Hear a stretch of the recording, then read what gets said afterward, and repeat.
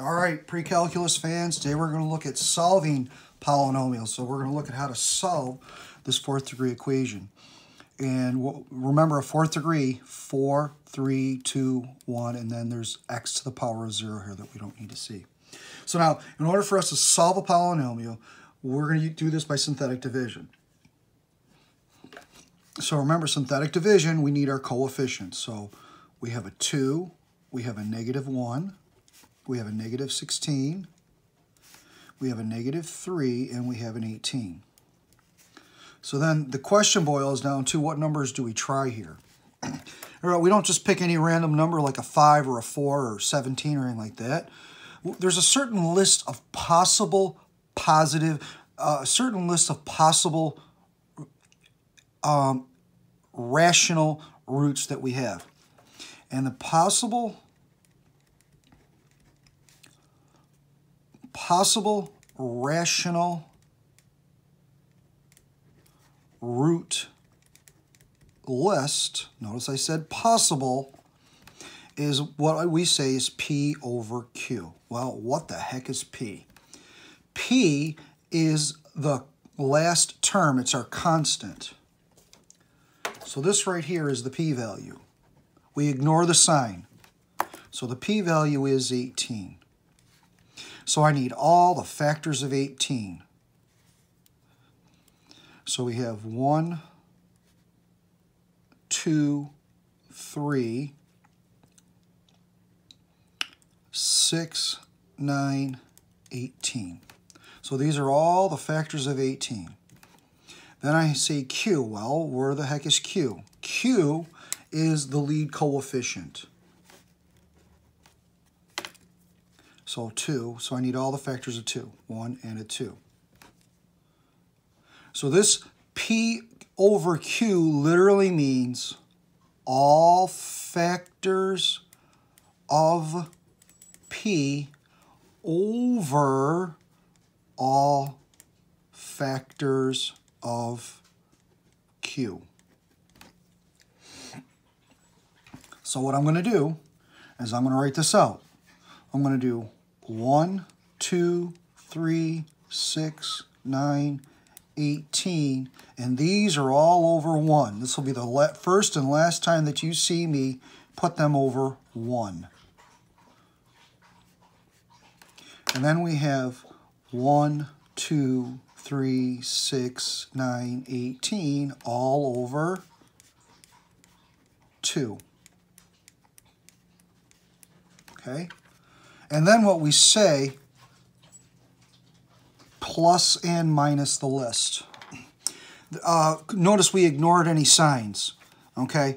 So that's why we always say plus and minus the list. So we have 1, 2, 3, 4, 5, 6. We have 12 we have actually 24 numbers that we could possibly try here. Okay, notice I said possibly try. Okay, but you have to realize we don't use all 24 numbers. If you're using all 24 numbers, there's, there's something wrong. Okay, also, notice some numbers repeat themselves. 2 over 2 is 1. Well, I don't need that. I don't need to look at it twice. 6 over 2 is 3. Anything that we can reduce, we can cross out because we already have it. 18 over 2 is 9. So I just reduced my list by a few. Not a lot, but it doesn't matter. This is the possible. Notice 4 is not on the list, so I'm not going to try a 4 over here. Notice 6 is not, uh, uh, 7 is not on the list, or a 5. That's fine. We don't have to worry about it. Okay? Now, what do we do? Well, you have to realize this is a fourth degree equation in a fourth degree equation, if we get one of these to work, we actually reduce it down to a third degree equation. Okay? And then from a third degree equation, we can reduce to a second degree. Second degree is your x squared. And then we can either factor or else use the quadratic formula for when we have a quadratic. All right, so let's start guessing here. So now you're literally guessing here. Close your eyes, pick your favorite number to try. Okay, me personally, I always like to try my ones and my negative ones. Okay, so I'm going to try negative one first. I always start small, and I just make a, systematic way of doing it. Um, and you see the 18s and the 9s here? I stay away from the bigger numbers here So I always start with the smaller numbers first, and then I go to my fractions. Okay? So, and I will show you what happens with a fraction that works and a fraction that does not work. Okay? So, let's do this one right here. So we're going to try negative 1. So we're literally doing synthetic division. And remember, this spot right here is the remainder. We want this to be a 0. If it's not a 0, we start over. All right, so I drop the lead, and I start multiplying. Negative 1 times 2 is negative 2. Then we add. Negative 1 times negative 3 is 3. We add. Negative 1 times negative 13 is positive 13. We add. Negative 1 times 10 is negative 10. Well, guess what? That's not 0. If it's 0, we keep it. If it's not 0, we don't care what this number is. So this means negative 1 does not work. So now let's try positive 1. And now let me get my stuff written down. Okay? So now we're trying positive 1. I'm going to drop the lead. All right, 1 times 2 is 2. Then we add. 1 times 1 is 1. Then we add. 1 times negative 15 is negative 15. We add. 1 times negative 18 is negative 18. And look at this. That's a remainder of 0. 1 works. Yay, it works. Now, we could have a repeat root. So you could, if you wanted to, try 1 again. But if you try 1 again, you do not go back to the original. You always use the reduced form. Notice this is a fourth degree equation. It has five terms. We have a remainder of 0. We just broke this down to four terms. This is a third degree equation. If I can lose one more number, then it becomes a second degree equation, and those we can factor. Okay? So if you want to try 1, you can. I'm going to tell you right now, just to save time, 1 doesn't work again. Okay? So let's try. So now when I do my next number, I'm going to show you a fraction. We're going to try 1 half. I want to show you what, what happens with 1 half. So we have 2, negative 1, negative 16, negative... Oh, wait a minute. What am I writing down? I got to use my reduced. 2, 1, negative 15, negative 18. Okay? So believe it or not, in a sense, we have a new PQ list. Okay? I know it's still 18 and still a 2, but technically we have a new list.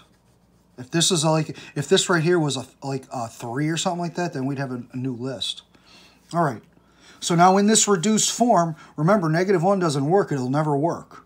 Okay, we could try one again, but we're not, I told you, we're not, because we know, I know it doesn't work. So let's, I'm going to show you what happens with a half. So I drop the lead. What's half of two? Hopefully you'll remember that is one. Half of, uh, so now I add is two. Half of 2 is 1. That's negative 14. Half of negative 14 is negative, uh, 7, so that doesn't work. So a half doesn't work. Uh, I want to try 3 over 2 now. Mr. Perrotta, 3 over 2? I don't know how to do that. Oh, stop your belly aching.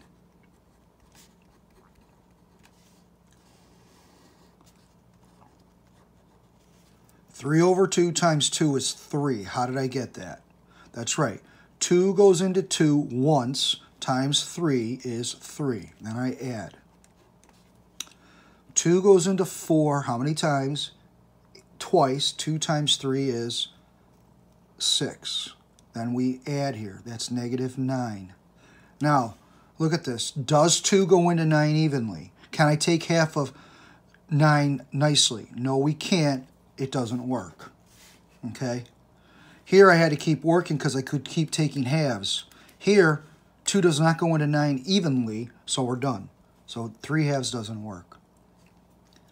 All right, let's try negative 3 halves. So 2, 1, negative 15, negative 18. Drop the lead. 2 goes into 2. So in other words, negative 3 halves times 2 is negative 3. 2 goes into 2 once times negative 3. That's negative 2. 2 goes into negative 2 once, so it's negative 1, so that's a positive 3. That's negative 12. 2 goes into 12, negative 12. Negative 6 times negative 3 is a positive 18. If you can't do that in your head, you pull out your handy-dandy calculator, and guess what? That works. Yay! All right, now, notice what happens here. What degree is this? There's three terms. This is a second degree equation. That's right. And then look at all your numbers. What do you notice? 2, 2, negative 12. That's right. I can reduce these all by 2. I can divide everything by 2 here. So if you want me to write it out, I will. 2x squared minus 2x minus 12 equals 0. And I can divide everything by 2. So I have x squared minus x minus 6 equals 0. And then hopefully you can quickly factor that out in your brain power.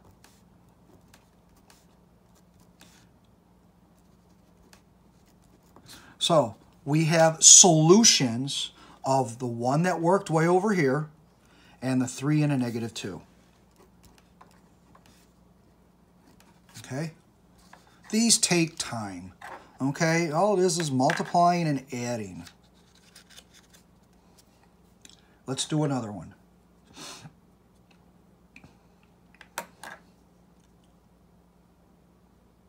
Oh, I forgot negative 3 halves. I gotta squeeze that in somewhere. supposed to have four roots. One, two, three, four. So one, two, three, four. All right. Let's do another one. I'll keep it simple for you guys. I know this is challenging work, this adding and multiplying.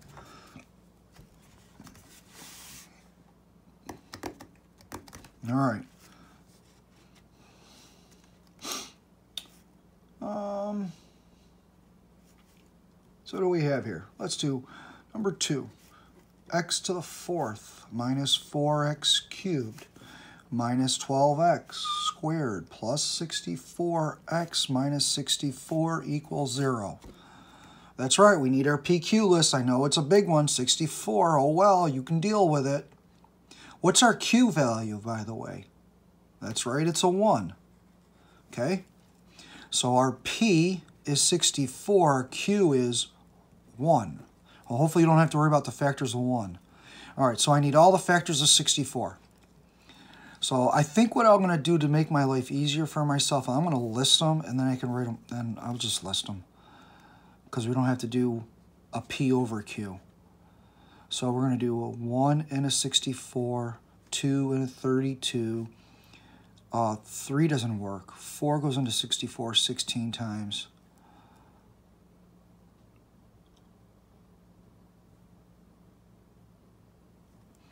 Uh, 5 doesn't work.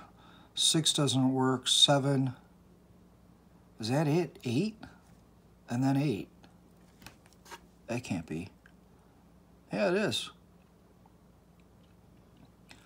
Okay, there's your list right here.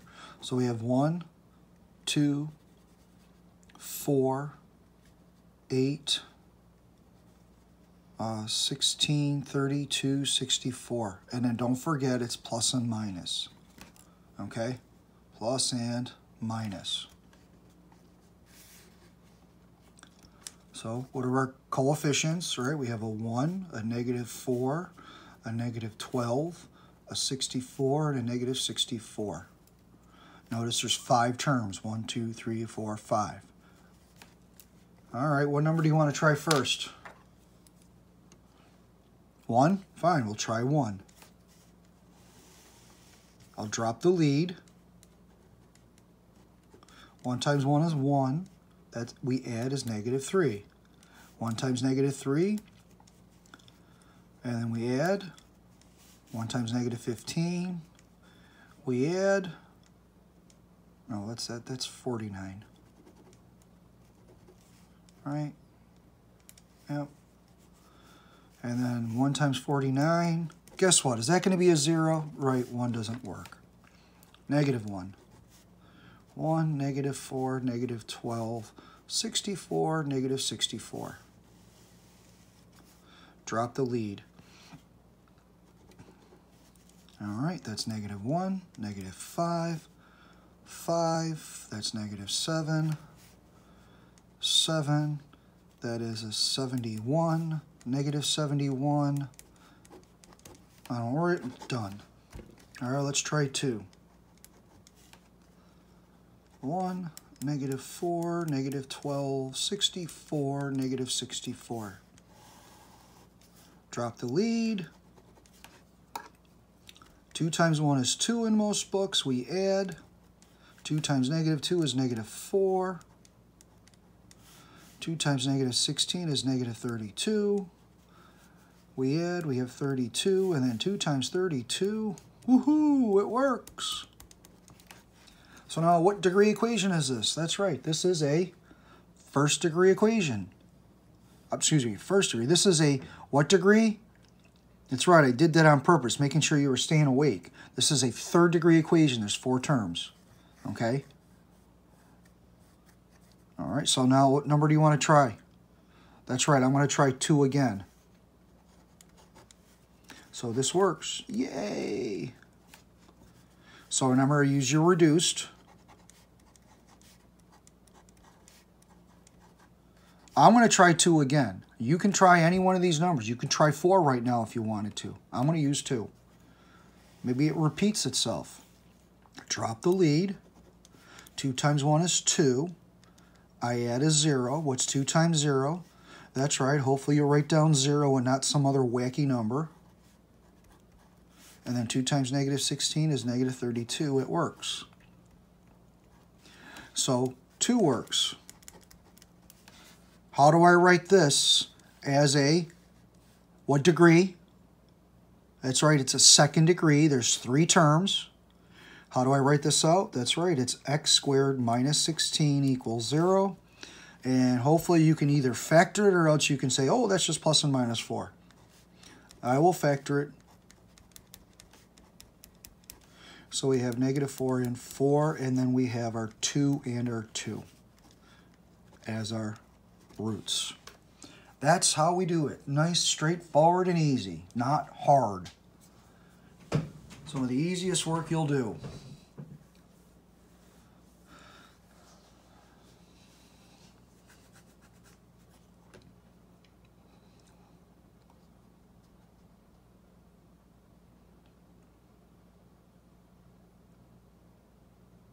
So you want to do one more? Okay, we'll do one more.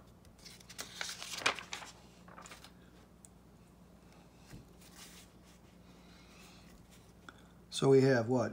3x cubed minus 22x squared plus 5x plus 14 equals 0.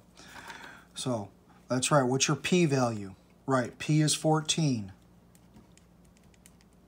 And what are all the factors of 14? That's right, it's 1, 2, 7, and 14. What's Q? That's right, it's a 3. What are all your factors of 3? 1, 3, 7, 9, 12. Hopefully you'll just say 1 and 3. So what's our P over Q? Is right, it's 1, 2, 7, 14 all over 1 and then it's 1, 2, 7, 14 all over 3. And then we do plus and minus that list. On a quiz, if you leave out the plus and minus, you're losing points. So don't leave out the plus and minus. All right. What number are we going to try first? That's, I thought you were going to say a fraction. That's a good idea. Let's try a fraction first. Fractions are friends. Oh, by the way, are we missing any terms?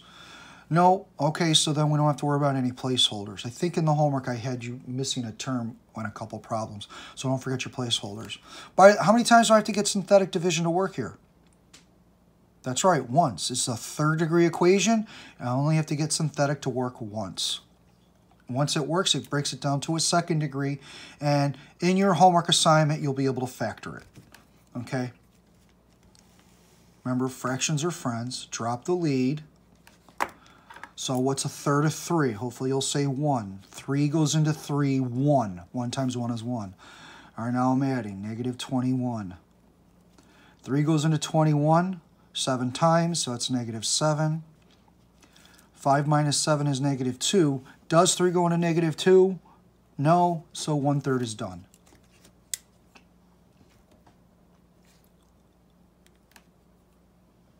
Okay. Well, let's try negative a third.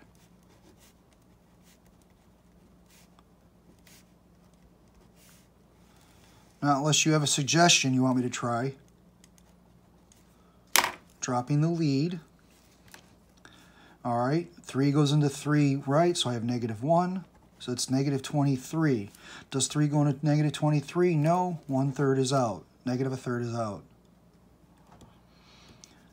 All right, let's try negative 2 thirds.